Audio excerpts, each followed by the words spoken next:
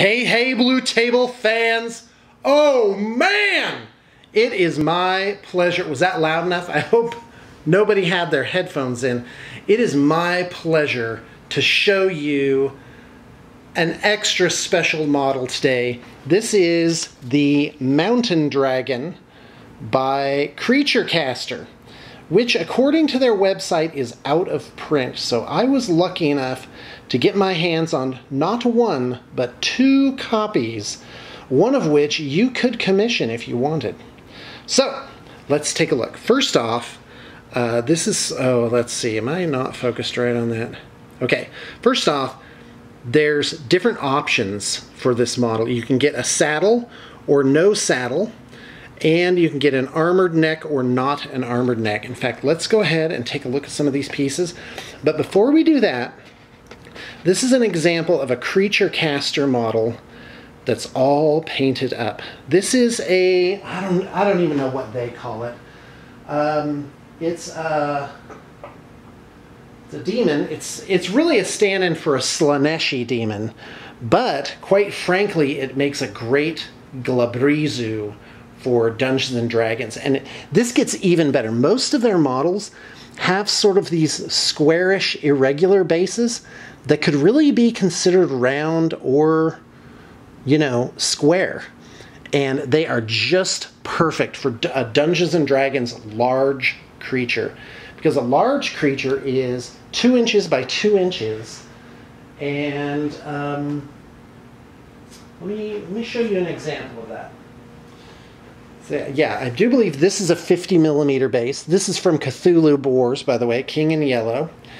And uh, so yeah, the bases basically are the same base as a large creature. Of course, really this would be a, hu a huge creature, which is three inch by three inch base.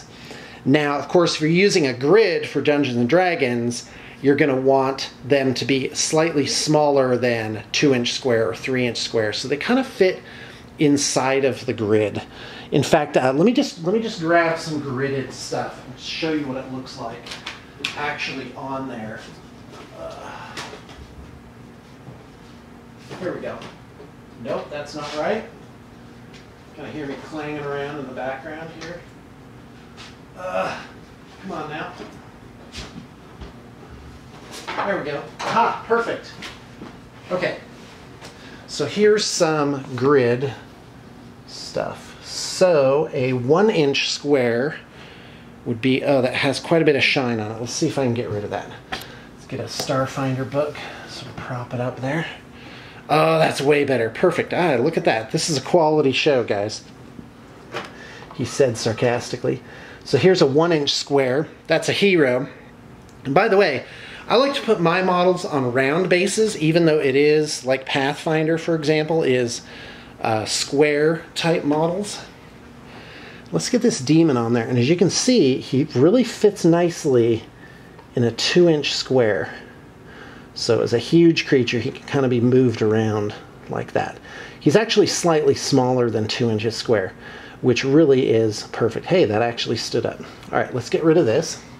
So I just wanted to show you the quality of a finished creature caster model. And now let's take a look, let's take a closer look at this mountain dragon.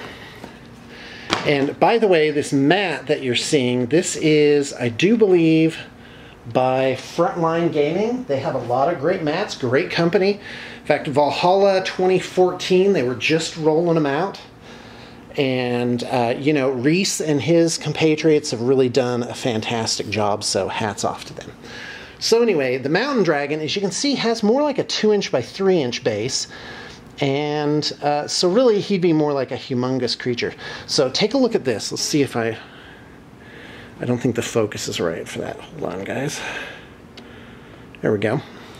So it has an it has like this square, this 20 millimeter square, and then so you can put an armored, like naturally armored plate on there, or you can put this saddle and have like a rider on it, and I guess his legs would just go over it. Now I'm going to be using the, uh, and just make him like a monster, right? Because I'm running Hoard of the Dragon Queen. So there's the armored neck. Hold on, my focus still focused? It seems focused, okay. And then there's an unarmored neck. Here it is. Oh no, wait, that's not an unarmored neck. Okay, I feel silly now. This is actually the tail. So it, it only comes with one neck. You just get an armored neck, and then you can just make it plated. And I think these are actually sp not supposed to be bone plates, but armor plates, because they have like rivets and stuff on them. So that's how that goes. But it can be blank, and that's certainly how I'm going to do it. And then, of course, two legs, two arms here, and two wings, which are really cool. I mean, what a fantastic piece. So anyway, uh, like I said, I have an extra one. So if you're interested in setting up a commission, the email for that is in the liner notes. And uh, right now, as of filming this video, we are at right around 34 projects. I like it to be 40 uh, with a crew of 10 to 12 artists.